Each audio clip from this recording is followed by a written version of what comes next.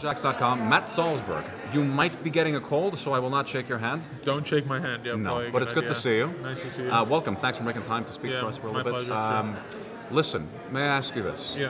When did you get into poker? Because you're from the writing world, the show business world. Is that yeah, correct? but I've played for a long time. Like I started getting into like Hold'em in like 2003, I would say 2004. Yeah. Can you tell me a bit about your career pre-poker?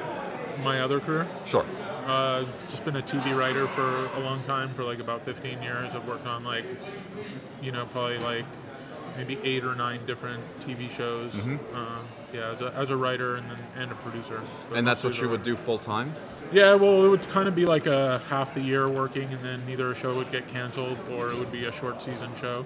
So I never, it was never really totally full time, but it was definitely, you know, um, for like half the year stretches. See, I'm trying to understand it. You know, at, at what point did you commit yourself to poker? Because now it seems like you're a full-time poker player. Uh, yeah, it just sort of happened that it seems like I'm a full time poker player, even though I'm probably not really. Really? It just uh, the timing was such where like, so I was on a show for eight years. We it ended.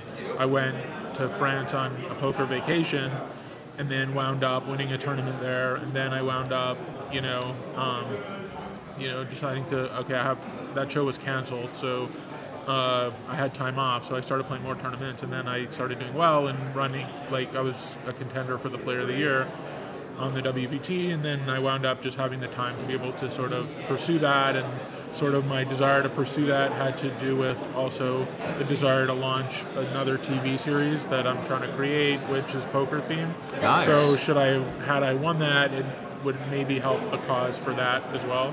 Right. So that's why I kind of went, went after it for that. Yeah. I certainly remember when you started. Uh, when at one point you were running so well, it was just like Salsberg, Salsberg, Salsberg. Yeah. And the Grand Prix, I think it was the. the The- yeah, I one? won the Grand Prix, and then yeah, I had you know a lot of um, WPT deep runs. That's very awesome. Thanks. And I was going to ask you. I mean, you know, you've worked in, you know, you, you worked in, you've been a writer. You know, writers have a way of looking at the world around them, and you know, finding uh, interesting ways to, Yeah. to, to to tell those stories. Uh-huh. So when you're in poker, I mean, what things stick out to you? What things impress you as a writer?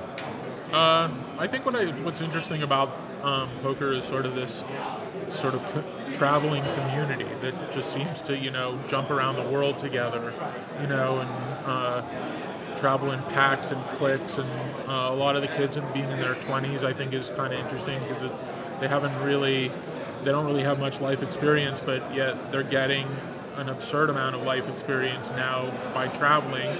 At the same time, you know, it's a reasonably difficult profession to sustain. So I think there's like a lot of inherent conflict, and it's interesting to watch and to follow. You know, it's like a sports league too in some ways, but the stakes are probably almost a little higher because you know you either have to put up your own money or you have to have people you know back you with their money. So Right. yeah, Can you tell us a little bit about this uh, poker themed project you've got coming up? uh, it's just kind of about the lifestyle of guys who uh, you know sort of travel week to week to different places, gambling against each other. You know, and kind of the gist of it. Yeah. It seems like it would be a pretty genuine product. I mean, you see a lot of poker-related entertainment, poker-related shows, and sometimes they they're underwhelming. Yeah, I mean, look, the hope is to you know do a you know find a partner on it who really believes in, in the show and understands. Will let me sort of bring my experience and vision to the project to the table, and you know really kind of like do almost like a satire of the world, but not you know without being cartoonish. You know, just have it be kind of almost entourage like you know, but set in the world of you know traveling poker players. Very cool. Yeah. Well, I'm looking forward to that. I, I Cool, hope, I hope I it hope it gets succeeds. I know. I hope Yeah, it succeeds. I wish you luck Thanks. with it. Thank you. Final Appreciate it. question. Yeah. How is your series going?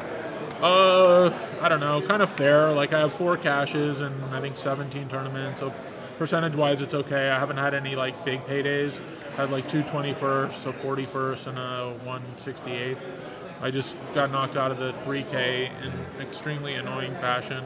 Sorry. Uh, yeah, kind of a scenario that doesn't ever happen very much uh, to me in poker. The way I got knocked out. Can you Uh, tell us a bit about it? yeah, I just I opened to like 725 uh, with two pocket tens, like in I think I was under the gun plus one or two, and then guy two to my left flats, and then a small blind squeezes for 5k, and I had built up from like 2,000 back up to like about 14,000, so I felt like really good momentum going into the dinner break, and so then I just kind of had to like isolate in that spot.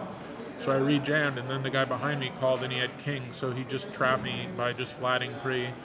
And uh, I just don't usually run into those kinds of traps too often. And well played by the villain. Sorry. Yeah. So, and the other guy had ace jack, and I would have beat him, but couldn't, couldn't beat the two kings.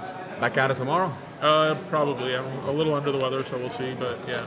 All right. Well, I hope you get better. I hope your project works out. And uh, Thanks so much. Uh, good to talk to you. All right, nice good to luck talk to you. sir. Thank you. Matt Appreciate it. Salsberg. All right. QuadJacks.com. See you guys.